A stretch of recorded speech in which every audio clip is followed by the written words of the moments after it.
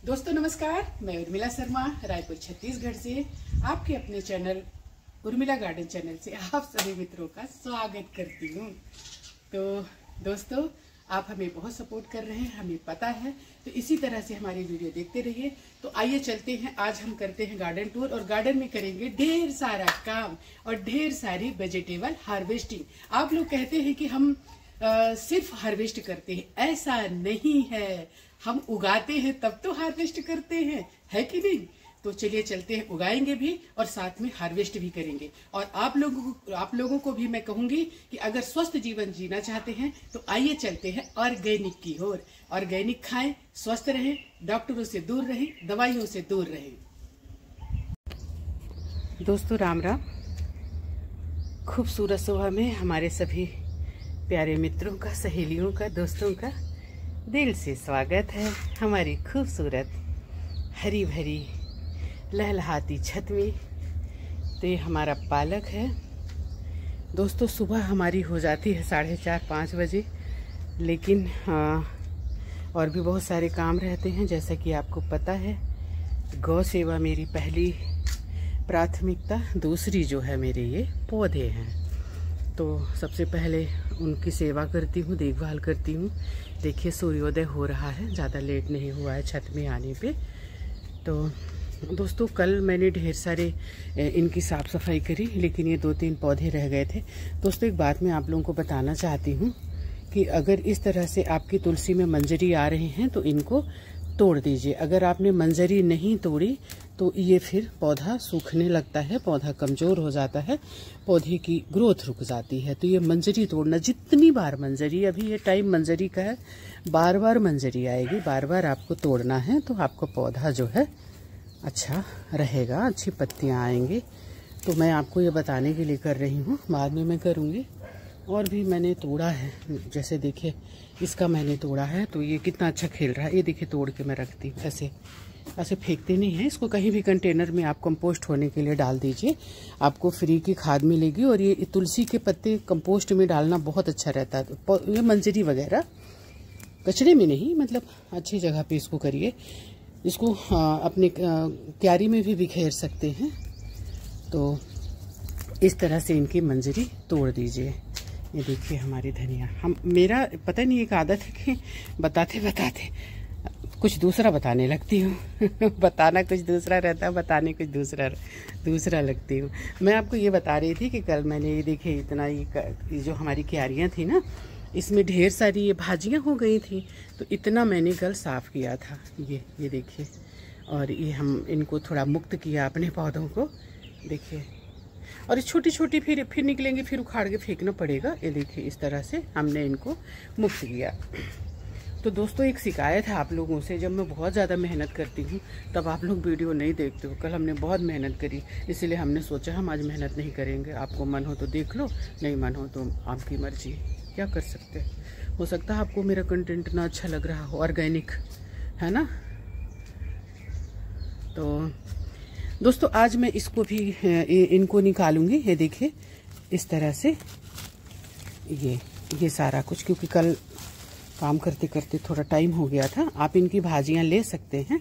मैं भी लूँगी। मैं भाजियाँ तोड़ लूँगी और बाकी मैं आपको बताऊँगी कि किस तरह से हम इसकी खाद बनाते हैं और किस तरह से हमारे पौधे फ्री में लहलहाते हैं। हम कोई चीज़ नहीं खरीदते हैं। लोगों का एक सवाल रहता है कि खर्च होगा, ये होगा। डॉक्टरों के पास जाते हैं तो पूछते हैं कि कितना खर्च हुआ हाँ? अपनी सेहत के लिए, अपनी जो आप खाएँगे, उसके लिए आप पूछते हैं, कितना पैसा लगा? मार्केट जाते हैं, सब्ज़ियाँ खरीदते, ऐसी ऐसी मिलती है आपको लाल भाजी मार्केट में। बताना तो ज़रा। तो दोस्तों, हमारी ये साफ़ सुथरी जगह है, यहाँ मैं नीचे रख रही हूँ, बाद में इसको मैं फुर्सत से तोड़ूँगी। अभी इनको मैं ऐसे उखाड़ लूँ, सबको साफ़ कर लूँ। तो दो क्यारियाँ हमारी मुक्त हो गई। दोस्तों इसमें एक बड़ा सुंदर सा लौकी हुआ है बट इसमें हो नहीं पाएगा। इसमें इतन, इतना पोषक तत्व तो उसको नहीं मिल पाएँगे। बेलबर्गीय सब्जियों के लिए ज़्यादा बड़े कंटेनर की ज़रूरत होती है। देखिए ऐसे मिट्टी भी झड़ रही है पर कोई बात नहीं। ये हम अपनी लहलहाती हुई भाजियाँ उखाड़ लेंगे। और इसमें रह जाएगी हमारी बोगन बेलिया जो बहुत ही खूबसूरत पौधा होता है बोगन बेलिया और इस फूल इसमें बहुत अच्छे खिलते हैं, और फूल देखकर आपका मन प्रसन्न होगा, आपके घर का वातावरण अच्छा रहेगा। लगाओ आप भी, छोड़ो बिस्तर। तो ये भी हमारा मुक्त हो गया, देखिए, कर लेते हैं। ये देखिए, ये भी, इससे भी हमने ढेर सारी भाजियाँ निकाल ली। भाजियों को मैं फेंकूँगी नहीं, इसको हम तोड़ लेंगे। और बाकी हम कंपोस्ट होने के लिए बनाएँगे तो हम बताते हैं आपको हम कैसे कंपोस्ट बनाते हैं और किस तरह से हम फ्री की गार्डनिंग करते हैं। देखिए, एक छोटा सा टमाटर है, इसको मैंने छोड़ दिया। ये देखिए, हमारे फूल, ये जो देसी वाले हवस्कस है ना, खूब खिल रहे हैं। आज तो इसमें ऐसी कलियाँ आई हैं, जब अच्छे से खिलेगा ना तो मैं आपको दिखाऊँगी। तो चलते चलते हैं ऊपर की छत में। ये देखिए कितनी कितनी भाजियाँ हमारे यहाँ हुई हैं। अब तो ऐसे लग रहा है कि भाजियाँ खा खा के हम एक दिन बकरी की तरह मह है करना शुरू कर देंगे। तो इतनी सारी भाजियाँ हुई हैं। तो मैं आपसे क्या कह रही थी कि आप गार्डनिंग फ्री में कर सकते हैं दोस्तों। आप अपने ही गार्डन के जो, शुरू में आपको थोड़ा एक दो बोरी लेना पड़ेगा। मिट्टी तो आपके भारत में रहते हैं, मिट्टी मिल जाएगी। हम कोई फॉरेन में नहीं रहते हैं तो मिट्टी आसपास आपके मिल जाएगी अगर आप करना चाहें तो। और एक मैं बहुत अच्छी बात आप लोगों को दोस्तों बताना चाहती हूँ। ये करमत्ता है। अगर आप गार्डनिंग करते हैं, अगर आपको गार्डनिंग का शौक है या आता है तो आप किसी भी तरह की बीमारी से दूर हो जाएँगे, आपका मन शांत रहेगा, चित्त शांत रहेगा, आपको सिर्फ़ अपने पौधों से प्यार रहेगा, दुनियादारी से बहुत ज़्यादा मतलब नहीं रहेगा। आप इस चीज़ से भी ऊपर उठ जाएँगे कि आपको कौन क्या कह रहा है। कहने दो। तो आप में ये आ जाएगा। तो उठिए, बिस्तर छोड़िए और उगाइए सब्ज़ियाँ। तो दोस्तों, आज मैं लूँगी प्याज भाजी। खाने में बहुत अच्छी लगती है, बहुत टेस्टी बनती है दोस्तों। इसको इस तरह से तोड़ के फिर इसको थोड़ा साफ़ करना रहता है। ये देखो साफ़ किया, इसके जो हल्के से पत्ते जो मुरझाए रहे या सूखे जैसे दिखे, उनको आप काट दीजिए। बाकी इसको वॉश करके दो तीन पानी में और पका लीजिए। बहुत आसान रेसिपी है इसकी। कोई बोल रहा था कि प्याज भाजी की रेसिपी बताइएगा आप। बहुत टेस्टी लगती है दोस्तों, एक बार खा के तो देखो। तो ये देखिए। और अगर आपको इनसे बीज बनाना है सीड्स बनाने हैं तो इनको आप छोड़ दीजिए। दोस्तों, इन्हीं से सीड्स बनते हैं, काले काले सीड्स रहते हैं। जब आप इनको छोड़ देंगे, ये पक जाएगा, फिर इसको आप तोड़ लीजिए, तोड़कर इसको झाड़ लीजिए धूप में सुखाकर। इसी में से आपको ढेर सारी नेक्स्ट बार प्याज मिलेगी। इसी से सीड बनते हैं। तो दोस्तों, हम चाहें तो हर पौधे के सीड्स अपने घर में तैयार कर सकते हैं। हमको मार्केट जाने की ज़रूरत नहीं पड़ेगी। देखिए, इस तरह से हम तोड़ेंगे प्याज भाजी आज। टमाटर, मिर्ची, धनिया, पालक, हर चीज़ हर चीज़ का खीरा, ककड़ी जो भी आपके यहाँ आप एक बार उगाते हैं, उसकी सीड्स आसानी से तैयार कर सकते हैं। मैं प्याज की सीड्स, पालक की, मेथी की, सब कुछ धनिया, मेथी, ये सारा कुछ घर का ही रहता है दोस्तों मेरे। ये देखिए। ये हमने प्याज तोड़ लिए। अब अब क्या है ना, अब जैसे इसको मैं छोड़ दूँगी, फिर ये थोड़े पकेंगे तो फिर इनके सीड्स में निकाल लूँगी। नेक्स्ट बार इनका, इनको उगाने के बीस मतलब इसके पौधे को बनाना पड़ता है पहले तो 20-25 दिन में ये तैयार हो जाता है। तो जब आपको उगाना हो या जब उगाने का टाइम हो तो 20-25 दिन पहले इसके पौधों को आप डाल दीजिए, वो तैयार हो जाएगा। और इस तरह से अगर घास वास कहीं दिखती है तो उसको आप उखाड़ दीजिए। बहुत सारे चीज़ हैं दोस्तों, अब देखिए ये। टूटे तो देखिए नहीं टूटा। मैं इसको काट कर बताती हूँ। शायद पक ही गया है। तो दोस्तों, आप लोगों से मैं बार बार कहती हूँ कि आप ज़ीरो बजट में सब्ज़ियाँ उगा सकते हैं। मिट्टी आपको अपने आसपास मिल जाएगी और थोड़ी सी खाद आप शुरू में ले आइए और बाद में आपके गार्डन का गार्बेज इतना निकलेगा कि आपको किसी खाद की ज़रूरत कहीं बाहर से लाने की ज़रूरत नहीं पड़ेगी। कैसे? मैं आपको बता रही हूँ कि हम किस तरह से खाद को आसानी से तैयार कर सकते हैं और उसी खाद के डिब्बे में आप पौधे भी उगा सकते हैं। जैसे ये हमारा खाद का ही कंटेनर है जिसमें नीचे खाद बन रही है, ऊपर हमने लौकी लगा दिया है। तो ये सारे पौधों में मैं अपने घर आप देखते होंगे कि मैं घर से बनी हुई खाद ही डालती हूँ। जैसे ये नीचे हमारे जो झाड़ू लगता है तो भाई अगर सुनार के दुकान में झाड़ू मारेंगे तो थोड़ा बहुत तो सोना निकलता है ना। तो इसी तरह से हमारा जो ये नीचे गिरता है ना, ये देखिए तो ये सारा कुछ खाद ही है। तो इसको भी हम झाड़ू मारकर एक जगह कंपोस्ट बनाते हैं। कंपोस्ट बहुत आसानी से बन जाता है दोस्तों। किसी भी तरह के पत्ते, सूखे पत्ते पके हुए पेड़ या जिनकी आप फ्रूटिंग ले चुके हैं, वो सारा कुछ आप इस तरह से डिब्बे में डालते जाइए। देखिए, और किसी भी तरह की कोई स्मेल नहीं। तरीका क्या है? आपने एक लेयर ये कचड़े की डाली। दोस्तों, पका हुआ खाने के आप खाद बनाने की कोशिश मत करिएगा। उससे स्मेल आती है, उससे कीड़े हो जाते हैं। और वो पौधों को नुकसान करता है, वो सड़ता, कंपोस्ट होने से बदबू आती है उसमें। लेकिन इसमें किसी भी तरह की स्मेल नहीं आती है। बहुत आसानी से अगर मैं छू रही हूँ तो आप समझिए कि इसमें कोई स्मेल नहीं है। ये देखिए, इस तरह से हमने एक लेयर जो है, इसको बिछा दिया। अब आपके पास अगर किचन का कुछ भी है, जैसे फ्रूट के छिलके वगैरह आप गायों को खिला सकते हैं बाई दबे अगर आपके मन में नहीं है गायों के लिए ऐसा कोई भावना तो आप उसको इसमें डाल सकते हैं। फ्रूट के छिलकों की खाद बहुत अच्छी बनती है तो आप इसमें डाल सकते हैं। वेजिटेबल के छिलके फ्रूट के छिलके, इस तरह से आप इन चीज़ों को डाल सकते हैं। पका हुआ खाने को आप कभी भी इसमें कंपोस्ट ना करें। तो जैसा कि मैं कह रही थी कि ये हो गया एक लेयर मेरा सूखा गीला कपड़ा मतलब ये जो भी आपके पास हो, सब इसमें डाल सकते हैं।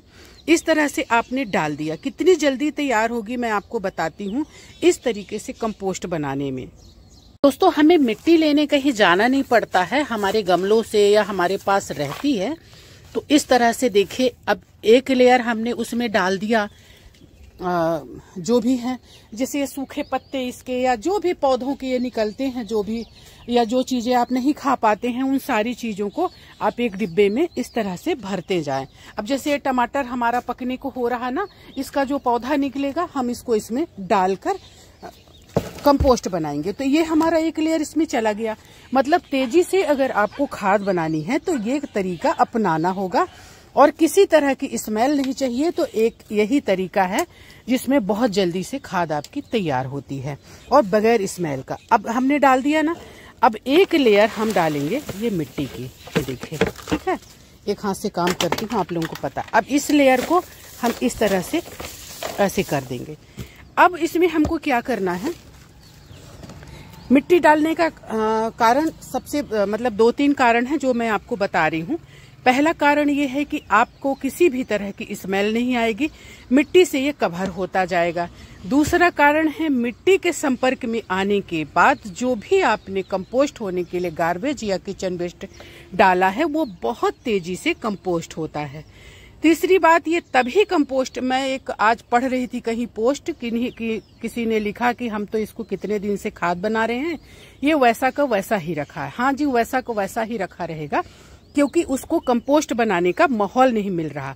जब तक ये गीला नहीं होगा, इसमें जैसे आप सोचेंगे कि सिर्फ़ सूखे सूखे डालें और वो कंपोस्ट हो जाएगा, चीज़ें सूखी डालें तो वो नहीं होगा। इसलिए आपको जब भी आप अपने पौधों में डालते हैं, आप थोड़ा सा पानी इसमें डालें, बल्कि रोज डालें और इसके बाद इस तरह से इसमें ढक्कन लगा दें। पानी डालकर ढक्कन लगा दें। हमेशा देखें कि आपका जो कंटेनर है, इस कंटेनर में नीचे से भी होल रहे, जहाँ से ये पानी निकले और एक एकाध होल ऐसे भी रहे। ये देखिए, ये है ना? ताकि इसमें जो, अब देखिए, यहाँ तक इसमें भरा हुआ है ना, ये सब कंपोस्ट हो रहा है। ये देखिए तो ये ताकि मतलब इसमें जो गैस, क्योंकि जब ये कंपोस्ट होगा तो गैस बनेगी। गैस बनेगी तो आपका ये कंटेनर अगर आपने ढक्कन बंद कर दिया है ऊपर से टाइट ढक्कन बंद किया और आपने नहीं किया तो फ़र्स्ट तो ये कंपोस्ट नहीं होगा, क्योंकि अगर इसको एयर नहीं मिलेगी तो कंपोस्ट नहीं होगा सेकेंड आपका डब्बा फट भी सकता है ब्लास्ट हो सकता है गैस से। तो बहुत आसान तरीके से आपने सीखा, ये आपको पचास साठ दिन में मतलब दो महीने में आराम से ये आपका खाद बहुत अच्छे से बन जाएगा। जब ये बन जाए, दो महीने बाद इसको निकाल कर बाहर कर दीजिए खाद को कंटेनर से, और इसके बाद इसको दो तीन दिन धूप में सुखाकर, जो चीज़ें बड़ी हैं, लकड़ी, कुकड़ी, जो भी है इसमें तो उसको हटा के फिर से डब्बे में कंपोस्ट होने के लिए डाल दीजिए। जो फाइन कंपोस्ट है, उसको बोरी में भर कर रख लीजिए। जब जहाँ ज़रूरत हो उसको इस्तेमाल करिए। हम तो बीच बीच में देखिए, ये देखिए ये जो बीच बीच में हमने डाला नहीं, हमारे घर की कंपोस्ट है। हम कहीं लेने नहीं जाते दोस्तों। देखिए, हम कोई मार्केट मार्केट नहीं जाते, हमें ज़रूरत नहीं पड़ती है और हमारे पौधे इसी तरह से लहलाते हैं, इसी तरह से फ्रूटिंग करते हैं। किसी भी तरह के पौधे हम छोटे से भी कंटेनर में डाल देते हैं तो वो आराम से फ्रूटिंग करते हैं। आप ये देखिए एक करेला है इसमें मैं मिट्टी डालने को सोचती हूँ और डाल नहीं पा रही हूँ और इसके डब्बे में मिट्टी बिल्कुल नहीं है दोस्तों क्योंकि ये बहुत दिन से पौधा लगा है ये टूट न जाए मैं आपको बता रही हूँ ये भर गया है। इसको बल्कि मैं कम करना चाह रही हूँ और करेले को एक अच्छा वातावरण देना चाह रही हूँ ताकि ये अच्छे से आ, मतलब फले। तो इस तरह से दोस्तों आप घर में कंपोस्ट तैयार करके बस आपको बिस्तर छोड़ना होगा क्योंकि देखिए फ़र्स्ट तो बिस्तर छोड़ेंगे तो आप इतने तंदुरुस्त, इतने हेल्दी हो जाएँगे टाइम से। ओवरवेट नहीं होंगे, आपका डाइजेशन अच्छा रहेगा, आप ऑर्गेनिक खाएँगे तो आपकी सेहत भी अच्छी रहेगी, आपके अंदर जहर नहीं जाएगा, आप जो है बीमार नहीं पड़ेंगे, आप डॉक्टरों की लाइन से बचेंगे। दोस्तों, मैं आपको बताऊँ, अब मैं क्या कहूँ, मेरे को बोलना नहीं चाहिए सुबह सुबह अपने लिए, लेकिन मैं आपको बता रही हूँ, मेरे में जरा सा पेशेंस नहीं है डॉक्टरों की लाइन में लगने का। जरा सा पेशेंस नहीं है, मैं भाग देती हूँ। कभी जैसे दांत वांत की दिक्कत आती है ना तो मैं बहुत देर तक नहीं रह पाती लाइन में। तो दोस्तों डॉक्टरों की लाइन जो है, मैं क्या बताऊँ आपको, बहुत बेकार चीज़ है। तो उस चीज़ों से आप बचेंगे डॉक्टरों की लाइन से। देखिए हमारा पुदीना कितना बढ़िया हुआ है। दोस्तों मैं सोच रही हूँ एक दिन इसको काट कर ना किसी गन्ने वाले को दे के आ जाऊँगी बोलूँगी ये लो क्योंकि गन्ने वाले शायद खोजते होंगे। अभी बढ़िया सीज़न भी चल रहा है तो मैं यूँ ही ऐसे दे के उसको आ जाऊँगी। इसको होता क्या है कि आप जितना पुदीना को तोड़ेंगे ना उतना ही और बढ़ेगा और ग्रोथ होगा और लहलाएगा।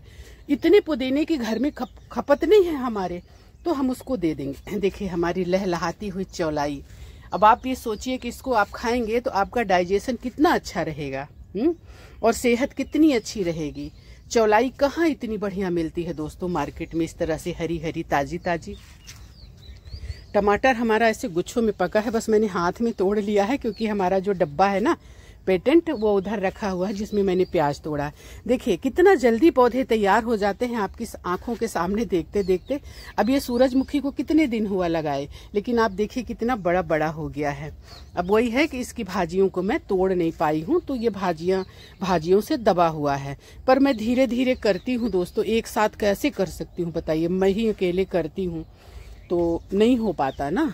तो कोशिश करती हूँ कि मैं सबके साथ अच्छा कर पाऊँ, क्योंकि हर पौधा दोस्तों कुछ कहता है। वो बोलता है कि मुझसे, मुझे देखो, मुझसे बातें करो, मुझे समझो, मुझे क्या दिक्कत है, मुझे क्या चाहिए। तो ये सारी चीज़ें जब आप पौधे लगाएँगे ना तो आप समझेंगे, मैं सच में पौधों से बातें कर, मैं तो गाय से भी बातें करती हूँ। जैसे मैं कहीं जा रही हूँ ना, गाय रास्ते में खड़ी है तो मैं उसको कैसे, सब ठीक है ना? सब बढ़िया है ना? मैं डॉग से भी बातें करती हूँ। और वो भी हाँ हूँ हाँ करके मतलब जवाब देते हैं। ये लाल भाजी बहुत अच्छी वाली है दोस्तों लेकिन क्या क्या खा लें? अब आप सोचिए कि आप सो, का एक एक सवाल था हमारे इसमें कि क्या हम छत पे सब्ज़ियाँ उगाकर अपने घर में पूरा कर सकते हैं? हाँ दोस्तों कर सकते हैं और अपने पड़ोसियों को भी कभी कभी दे दे सकते हैं। कभी नहीं हम तो अब नहीं कहते देते हैं देना भी चाहिए क्योंकि क्या करेंगे आप? अगर आ, आपने उगाया है तो बांट के खाना चाहिए ना। कहाँ मैंने सुना था कि कौआ भी कुछ पाता है तो काव काव करके अपने दोस्तों को बुला लेता है। तो हम लोग तो इंसान है। तो दोस्तों, बांट के खाना चाहिए, क्योंकि इतनी फ्रूटिंग होती है ना, आपकी मेहनत जो है, देखिए। हाँ एक एक सवाल आया था कि क्या पंद्रह दिन में टमाटर ऐसे हो सकते? हाँ जी, हो सकते हैं। क्यों नहीं हो सकते हैं? आपने अगर स्वस्थ पौधे लाए हैं, पौधे हेल्दी हैं, पौधे बड़े भी थे मैच्योर भी थे, और आपने उगा दिया तो बिल्कुल हो सकते हैं। वैसे पंद्रह से बीस दिन हो रहा होगा, ऐसा कोई कसम खा के हमने नहीं बोला था कि हाँ पंद्रह दिन ही है, लेकिन इसका वीडियो पड़ा हुआ है, मैं सही टाइम बताऊँगी। ये मिर्चियाँ हमारी हो रही हैं और टमाटर और ये मूली मूली तो मैंने देखा नहीं कि नीचे पड़ रही कि नहीं पड़ रही, थोड़ी घनी हो गई है, कोई बात नहीं, इसकी भाजियाँ बन जाएँगी। तो इस तरह से हमारा ओवरऑल गार्डन है। खूबसूरत और हम ढेर सारी सब्ज़ियाँ उगाते हैं और आपसे बार बार कहते हैं कि छोड़ो बिस्तर, उठो, क्या रखा है? टाइम से उठो, टाइम से सो और सब्ज़ियाँ उगाओ। अपने घर से ऑर्गेनिक से काहे मार्केट में लाइन लगाना, मार्केट जाना इतनी गर्मी में।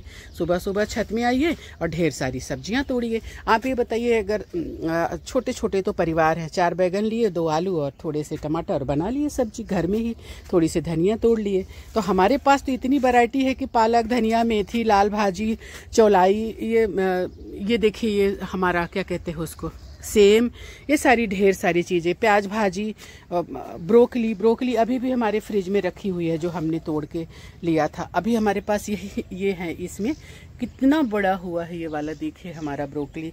तो ये ये पौधे सिर्फ़ और सिर्फ़ इतने स्वस्थ हैं कि मैं इनको अपने घर से बनी हुई खाद देती हूँ और अपने घर मतलब अपने हिसाब से अपने आसपास की चीज़ों से जो हमें प्राकृतिक रूप से मिलती हैं, उनसे हम इनको तैयार करते हैं। जंगल में जो पौधे होते हैं, कितने खूबसूरत होते हैं। तो आपको पता है, वो अपने ही प्राकृतिक रूप से तैयार होते हैं, प्रकृति उनको खाद देती है, प्रकृति उनको पानी देती है।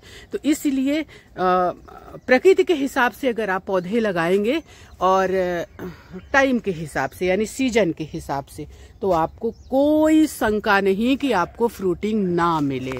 ऐसे गुच्छों में हमारी सेम जो है दोस्तों फल रही हैं, आप देख लीजिए।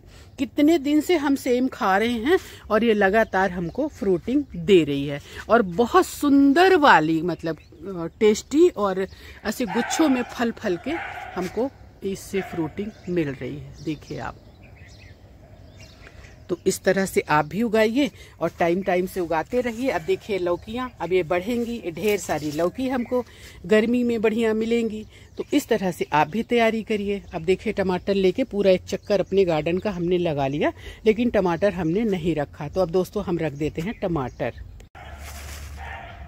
तो दोस्तों हमारे कंटेनर में ज़्यादा जगह नहीं बची है, थोड़े मोड़ी जगह बची है तो उसमें हम इस तरह से देखिए, गुच्छों में फले हुए हैं हमारे टमाटर तो इनको हम रख लेते हैं। अब क्या चाहिए? मैं तो इसको ना प्रसाद की तरह मानती हूँ दोस्तों, क्योंकि ये हमको सच में प्रसाद की तरह ऑर्गेनिक इतना, इसका कोई मोल नहीं है। आप लोग बोलेंगे, इतने में तो मार्केट में मिल जाता है। पैसा क्यों देखते हैं? आप ये देखिए ना कि हम जहर नहीं खा रहे हैं। ये देखिए ना पैसा तो ठीक है, बहुत पैसे वाले लोग भी होंगे। हो सकता है हमारा वीडियो बहुत पैसे वाले देखते हों और मेरे को ऐसे दृष्टि से देखते हों कि क्या करते रहती है ये। लेकिन दोस्तों, एक बार ऑर्गेनिक का मोल समझेंगे ना तो पैसा ज़ीरो है। जब इंसान की तबीयत खराब होती है और शरीर में प्रॉब्लम आती है तो फिर वो पैसा कोई मतलब का नहीं रहता है। समझ गए? मतलब का मीन्स शरीर आपका इतना थक चुका होता है कि पैसे से भी आप अपनी सेहत को नहीं खरीद सकते। हालाँकि पैसा जीवन के लिए बहुत ज़रूरी है, लेकिन सेहत उससे भी ज़्यादा ज़रूरी है। तो फ़र्स्ट सेहत, सेकंड पैसा। और क्या फ़ायदा ऐसे पैसों का, जो सही काम में ना लगे, हैं? डॉक्टरों की लाइन में लग के आप अपने पैसे जाके दे के आओ हाँ? अनाप शनाप पैसे। तो इसलिए थोड़ी सी मेहनत करें, नहीं कर सकते हैं तो आप माली से तो मैं नहीं कह सकती, लेकिन कोई ऐसे व्यक्ति को जो जानकार हो, उसके देख रेख में करवाएँ आप। लेकिन अपने अपनी छत पे, हम कहते हैं लोग बहाना करते हैं कि हमारे पास तो जगह नहीं है। हमारे पास जगह है, लेकिन यहाँ नहीं है। तब भी आप देखिए, हमने कितनी सब्ज़ियाँ उगाई हैं, ये तो अडेनियम है। कितना सुंदर खिला हुआ है, दोस्तों, देखिए। अब ये धीरे धीरे अपने उसमें रंग में आ रहे हैं और ये खिलना शुरू हुए हैं, डोरमेंसी से बाहर आ रहे हैं, इनके लिए सही वातावरण मिल रहा है। तो अब ये खिलेंगे। ये पौधे को कुछ दिक्कत है दोस्तों, मैं थोड़ी देखती हूँ। ये देखिए, हमारा किस तरह से ये खिला हुआ है अपराजिता, और इधर भी ये ये अरेबिकम है, और बाकी ओबेसम, ये भी अरेबिकम है। बाकी ओबेसम और कुछ मेरे जो हैं ग्राफ्टेड वाले हैं। ये जो है हमारी टोपियारी है, कितनी सुंदर। और टोपियारी के नीचे हाँ हाथी, ऊँट एंड जेबरा इस तरह से ये हमारी टोपियारी है, बड़ी सुंदर। ये दोस्तों, हमारे पास ये थाई वैरायटी है, ये वाला। छोटा है, बीजों से लगाया है हमने सीड से। यहाँ भी हम सीड से उगा रहे हैं, देखिए, उग रहे हैं। ढेर सारे अडेनियम मैं सीड से उगा लेती हूँ, खुद ही उगा लेती हूँ। हमारे अडेनियम में सीड पॉट आते हैं तो मैं खुद ही उगा लेती हूँ। ये हमारी टोपियारी हमने बनाई है। और हमारे राधा कृष्ण जी बांसुरी बजा रहे हैं। और उनके इधर गाय और हिरण ये, ये सुंदर सा एक हमारा जो है बोनचाय जेट प्लांट का। दोस्तों हमने आपसे कहा ना कि हर पौधा कुछ कहता है। ये देखिए इसमें रूट रॉट हुआ था। इसको मैं बचाने की कोशिश कर रही हूँ। बड़ा पुराना बड़ा खूबसूरत पौधा। और अभी देखिए यहाँ से ये ये जो ख़राब हुआ है तो इसको मुझे इस कट करके और फंगीसाइड लगाना होगा। तो इसको अभी करूँगी मैं, क्योंकि ये सही टाइम है, दिन भर की इसमें लगेगी धूप। तो अभी मैं मोबाइल को रख रही हूँ, इसमें थोड़ा सा मैं काम कर लूँ। ये देखिए, हमने काट दिया। तो दोस्तों, इसको यहाँ से काटना चाहिए, जहाँ से साफ़ हो। मतलब ये, जैसे ये यहाँ से गल रहा है ना तो ये मतलब कि ख़राब को निकाल देना चाहिए। कोशिश कर रही हूँ दोस्तों इसको बचाने की, पता नहीं। बचेगा, नहीं बचेगा, क्योंकि रोज़ रोज़ इसके नखरे चल रहे हैं। दिखे ना, यहाँ से साफ़ किया था, अब ये फिर ऐसा दिख रहा है। तो मैं रोज़ क्या कर सकती हूँ? बहुत काम है मेरे जीवन में। पर अब क्या करूँ? पौधों से लगाव है, फिर करती हूँ, फिर तक, तकलीफ़ भी पाती हूँ कि मेरा पौधा ऐसा हो गया। अब इसको मैं थोड़ा ठीक कर दूँ, अच्छे से रख दूँ। तो दोस्तों, वीडियो अच्छा लगा हो तो लाइक, कमेंट्स और सब्सक्राइब करना। और कुछ सलाह चाहिए आपको या मुझे देना चाहते हैं तो ज़रूर बताना, या आपको कुछ पूछना है तो आप मुझसे पूछ सकते हैं कि किस तरह से पौधे उगाएँ, किस सीज़न में क्या उगाएँ, ये सारी जानकारी मैं आपको दे सकती हूँ। तो अगर हमारा वीडियो आपको अच्छा लगा हो तो सब्सक्राइब कर लेना। आपका कमेंट्स, आपका लाइक मुझे मोटिवेट करता है, मुझे एक साहस देता है और मुझे लगता है कि मैं एक सही दिशा में काम कर रही हूँ, लोगों को मोटिवेट कर रही हूँ। मैं भी कि आओ, हम चलें ऑर्गेनिक की ओर। अगर हमें स्वस्थ जीवन जीना है, मृत्यु निश्चित है, लेकिन घिसट के मरना कौन चाहता है? तो आइए चलते हैं, जब तक जिए तो स्वस्थ रहें। है ना? तो सब्सक्राइब कर लेना। पाँच मिनट मुझे लगेंगे इन भाजियों को साफ़ करने में, यानी ये जो ये वाला भाग है ना, इसको हटा दूँगी और जो सॉफ्ट वाला है, उसको ले लूँगी। बाकी ये जो मैं खाद बना रही हूँ, उसमें जाएगा ये सब। और इसमें जो मिट्टी रहती है, इसकी वजह से बहुत तेज़ी से कंपोस्ट होता है। तो दोस्तों, इसको साफ़ कर लूँ मैं। देखिए, कितनी सुंदर ताज़ी भाजियाँ। हमारे लिए मिल गई। हमें कहीं मार्केट जाने की ज़रूरत नहीं है। ये देखिए। और ये जो निकला इसी से फिर नई भाजियाँ तैयार होंगी। मतलब यही हमारे आ, पहले हम इसको कंपोस्ट वाले डिब्बे में डालेंगे फिर ये कंपोस्ट होगा 40-50 दिन में। इसके बाद दोबारा इसको हम तो पौधों में डालेंगे इसी खाद को। तो एक बार अब उगाने को लगता है इसके बाद बार बार उसी पौधे से दूसरे पौधे तैयार होते हैं। गार्डन के गारवे से ही हमें दुनिया भर की खाद मिल जाती है। तो दोस्तों, हमारी वीडियो को यहाँ तक देखने के लिए, यानी यहाँ तक पहुँचे हैं तो आपने पूरी वीडियो देखी। तो यहाँ तक पहुँचने के लिए आप लोगों का हृदय से आभार। आप हमारी वीडियो को देख रहे हैं, हमें सराह भी रहे हैं और सबसे अच्छी बात कि आपके कमेंट्स आ रहे हैं और बहुत अच्छे अच्छे कमेंट्स आ रहे हैं जिनमें मैं अमल भी कर रही हूँ। तो दोस्तों, इसी तरह से वीडियो देखते रहें ऑर्गेनिक की ओर चले ऑर्गेनिक खाएँ, स्वस्थ रहें, मस्त रहें और अब गर्मी आ गई है तो अपने पौधों का विशेष ख्याल रखें। तो दोस्तों बहुत बहुत आभार। जय हिंद, वंदे मातरम, जय छत्तीसगढ़।